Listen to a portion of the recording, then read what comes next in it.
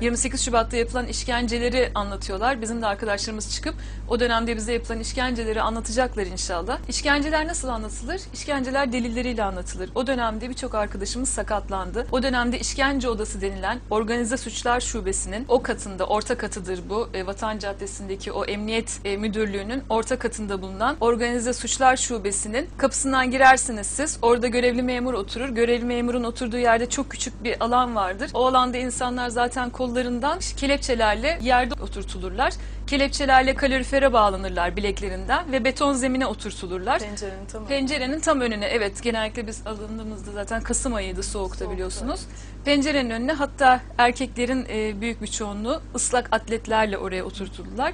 Sonradan o küçük alanı geçtiğinizde bir banyo vardır kapısı olmayan. O banyonun yanında da yan tarafında da işkence odası diye tabir edilen işte geceliğin insanların yapılan işkencelerin çığlıklarını size dinlettikleri bütün arkadaşlarımızın o işkence odasından geçtiği o meşhur mekan vardır. Şu anda günümüzde işkence gördüğünü söyleyen herkesin yaptığı tarif tam olarak budur.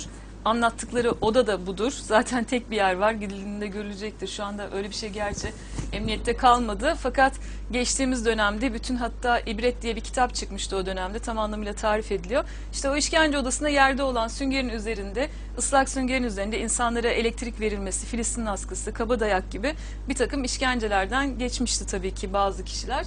Allah'a şükürler olsun tabii ki bu bir şereftir, nimettir. Çok önemli bir nimettir. Bunu şimdi arkadaşlarımız delilleriyle anlatacaklar. Onun devamında da tabii ki kaybolan raporlar, bu insanlara nasıl işkence yapıldığının delillendirilememesi, emniyette işkence görürken götürüldüğünüz doktorları düşünün. Normalde toplu olarak emniyetten doktora götürülürsünüz her zaman. O götürüldüğünüz doktor sizi tek olarak içeri alıp muayene etmesi gerekir. Fakat kalabalık bir ekip şeklinde girip kapıda sizi e, yanında götüren polisin eşliğinde kapıda beklerken bir rahatsızlığınız var mı? Hayır yok diye polisin cevap verdiği bir muayeneden geçersiniz. Sonra da işkence görülmemiştir raporu alırsınız orada emniyetteyken. Doktor görmez bile sizi. Doktor tanımaz zaten. Yani yüzünüze dahi bakacak bir some old